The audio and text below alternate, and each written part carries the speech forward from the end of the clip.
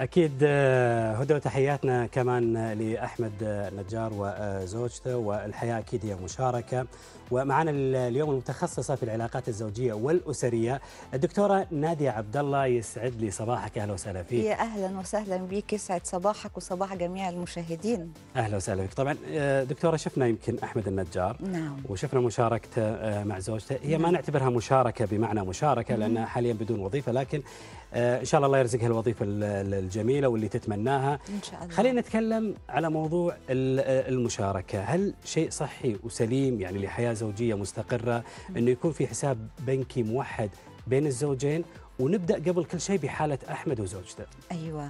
آه، حالة أحمد وزوجته آه، زي ما حضرتك بتقول يا أستاذ خليل آه، يعني هي ده النمط الجديد اللي هو في العقود الأخيرة أصبح بيظهر في المجتمعات العربية بتاعتنا اللي هو أصبحت فيه المرأة بتعمل وبت...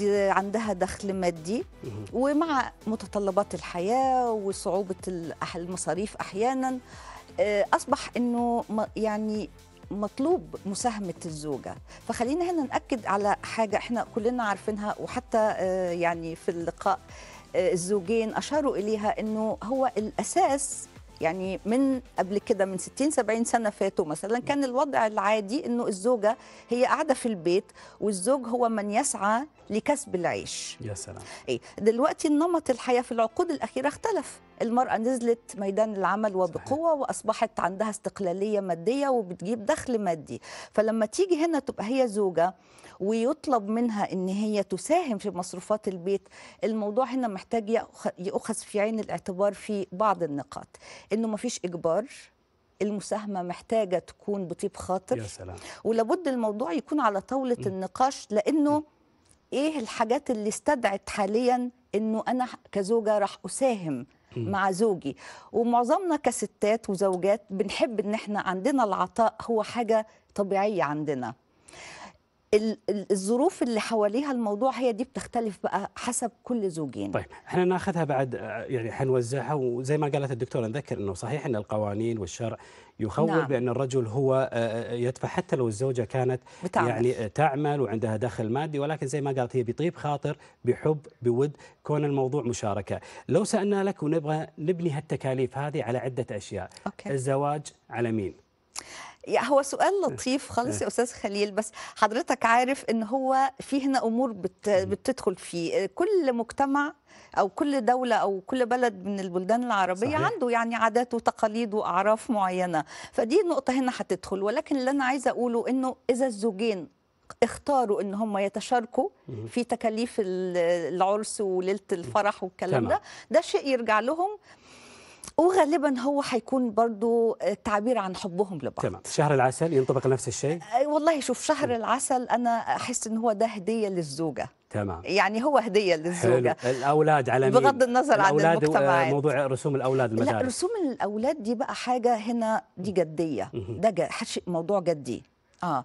لأنه آه، في ال- ال- الأطفال عندهم التزامات ومحتاجين تكاليف. الكائن الحي ده مش جاي كده. محتاج شقلة فلوس يعني. صحيح. فإذا الوضع المادي أصبح إنه يتطلب إنه الزوجة تساهم ما هي هتساهم عشان مين؟ ما عشان عيالها. تمام. يعني على على هو- هذه مشاركة. أيوه. إذا هو الدخل بتاع الزوج ثابت من يوم ما اتجوزه وبقى في طفل طب هنوزعه إزاي حاليا في الوضع الحالي؟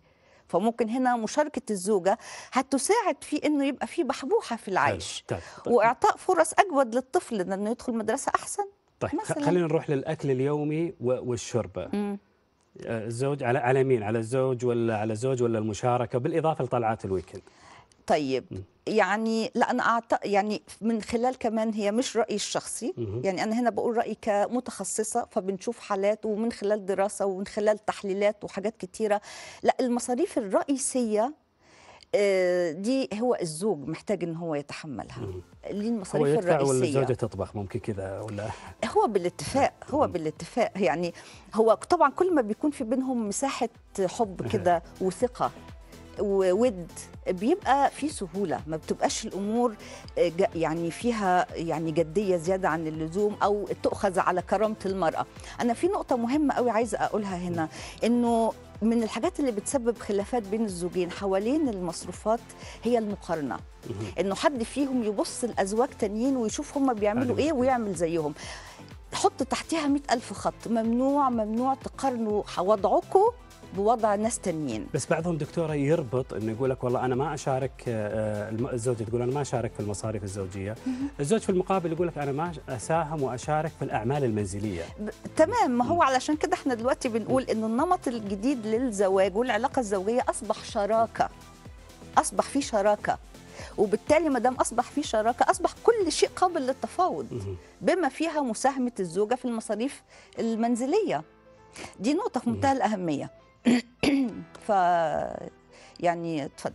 طيب يعني هو السؤال الأخير بس يعني أنت اجمالا بعد ما ناخذ مختصر وزبدة هذا الموضوع مع الحساب المشترك ولا الحساب المنفرد؟ آه الحساب البنكي المشترك. شوف كل واحد له مزايا وله عيوبه. آه أنا آه يعني من خبرتي العملية أشوف إنه مزايا الحساب المنفصل مهم. بتحفظ الخصوصية المالية لكل من الزوجين وفيها حفظ للحقوق لو لا قدر الله صارت مشكلات. الميزة يعني نقول الأكبر لوجود حساب بنكي مشترك هو واحد بس. في حالة غياب أحد الزوجين وفي حد محتاج يدفع مصاريف.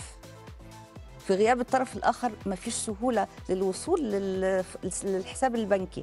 لكن يعني في الإجمال الأفضل يكون في حساب بنكي منفصل. أنا عاوزه أضيف نقطة مهمة. معنى المال من الحاجات اللي بيختلف عليها الزوجين. دي مهم.